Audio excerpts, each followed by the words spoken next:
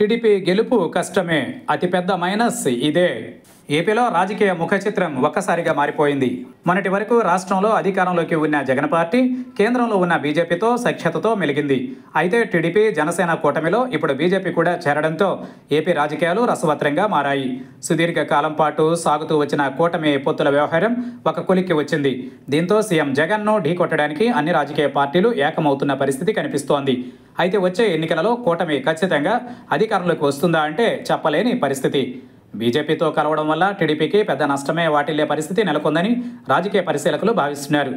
బీజేపీకి TDP offer చేసిన సీట్లే దీనికి కారణంగా అభివర్ణిస్తున్నారు.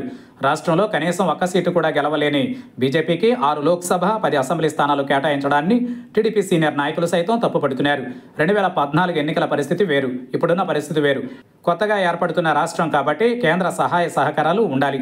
అందులో భాగంగానే బీజేపీతో పొత్తు పెట్టుకుంటున్నామని అప్పట్లో చంద్రబాబు చెప్పారు.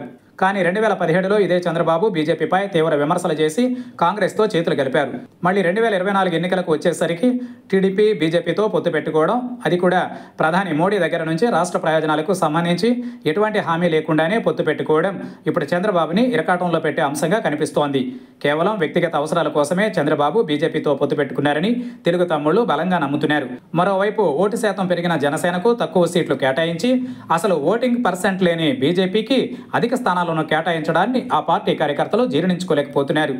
దీనిపై బహిరంగంగానే వారు తమ అసంతృప్తిని వ్యక్తం చేస్తున్నారు. తమ నాయకుడు రెండు వేల పద్నాలుగు ఎన్నికల మాదిరిగా పోటీ చేయకుండా నేరుగా కూటమికి మద్దతు ఇచ్చినా బాగుండని సెటార్లు వేస్తున్న పరిస్థితి కనిపిస్తోంది. ఇటువంటి క్రమంలో కూటమిలో ఓట్ల బదిలీ సక్రమంగా జరుగుతుందా అనే అనుమానం అన్ని పార్టీల్లోనూ నెలకొంది. వచ్చే ఎన్నికల ఫలితాలలో ఏదైనా తేడా వస్తే అది ఖచ్చితంగా బీజేపీతో పొత్తు పెట్టుకోవడమే అని టీడీపీ నాయకులు చెబుతున్నారు.